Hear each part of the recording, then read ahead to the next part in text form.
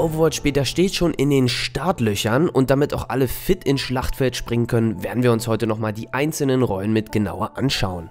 Offensiv, Defensiv, Unterstützung und Tank sind hier die vier Rollen, die man auswählen kann und wir werfen in diesem Video kurz mal einen Blick auf die Tanks. Als erstes hätten wir hier Winston, der mit seiner Tesla-Kanone ordentlich Nahkampfschaden austeilen kann. Zudem kann er mit seinem Sprungantrieb auf höher gelegene Orte springen und einen Schildprotektor nutzen, um Projektile abzuwehren. Seine Ulti ist hier die Dschungelwut, mit der er die Gegner zu Brei stampfen kann.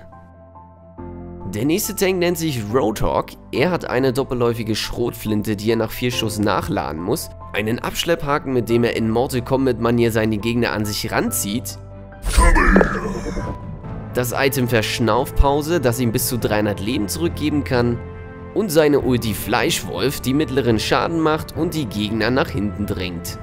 Als dritten im Bunde haben wir Reinhardt, der mit seiner primären Attacke Raketenhammer im Nahkampf ordentlich Schaden austeilen kann. Zudem kann er frontal mit seinem Schild Projektile abwehren. Mit seiner Fähigkeit Ansturm hat Reinhardt die Möglichkeit, die Gegner an die Wand zu werfen und auch mit dem Feuerschlag auf weite Distanz Schaden auszuteilen. Seine Ulti ist hierbei die Druckwelle, welche je nach Abstand mehr Schaden austeilt und die Gegner zu Boden drückt. Der letzte Tank im Bunde ist Zarya. Sie hat eine Partikelkanone, die man nach gewisser Zeit nachladen muss.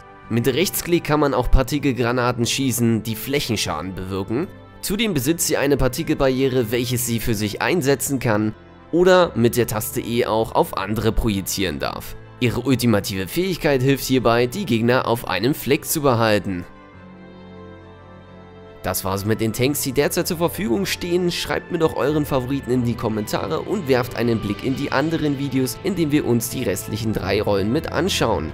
Ich bin damit raus und wünsche euch noch viel Spaß im Schlachtfeld.